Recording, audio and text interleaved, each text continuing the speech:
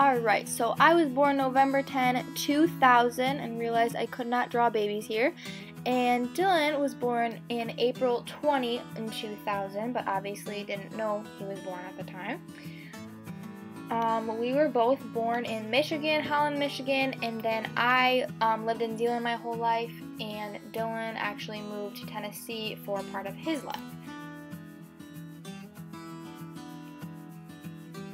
I was obsessed with babies when I was younger, played with them all the time, and I was also obsessed with my four siblings. We were all best friends because we were all homeschooled and just hung out all day long. Um, about sixth grade, I actually was going to a school and had to transfer schools to my new school, and I absolutely hated it. This year was my eighth grade year, and it sucked. I had no friends and just totally, totally felt alone. But I did have one best friend. She was my childhood best friend. I've known her ever since I was three, and we're actually still friends today. And a lot of my life consists of babysitting my cousins. They had five kids, and we often played outside, rode bikes. We liked to play zoo and just play pretend all the time. And my little sister always came along, so it always felt like I was babysitting six kids. Um, my first real job was actually at a bagel shop, and I did that for about a year and a half.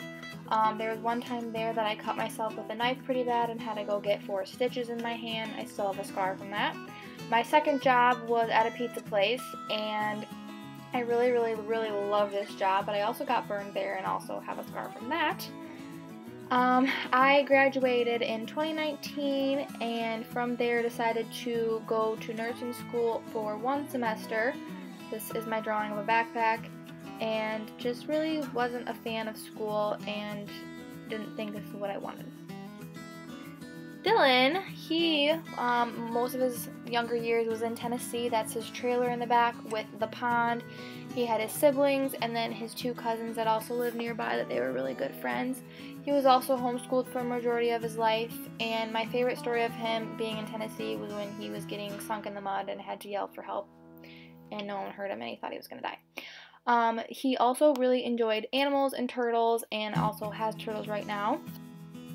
And he had to move from Tennessee to Michigan. Obviously, this was about eighth grade year and then moved up freshman year. And he was very, very, very alone freshman year until he met me his sophomore year, and that is when everything changed. And this was in 2014. and our love began then and just kept going out through high school. Um, Dylan really, really loved sports and played lacrosse in high school, and I tried to go as many games as I could. That's me cheering him on in the back.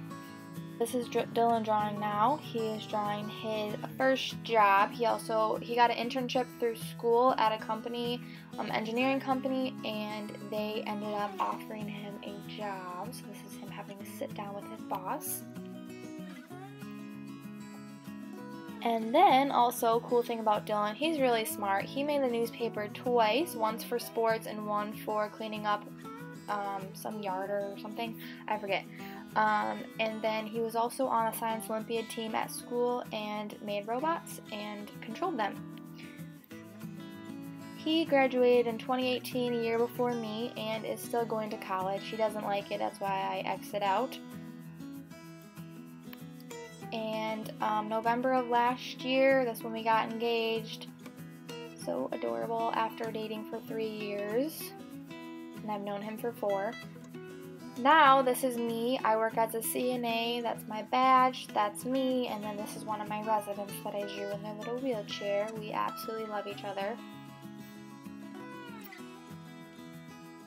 And this is us preparing for our wedding come June 27 outside to do the outro and it's really bright out. But I just want to say thank you for watching today's video and hope you have a good day. Bye. Say bye. Bye. Why am I...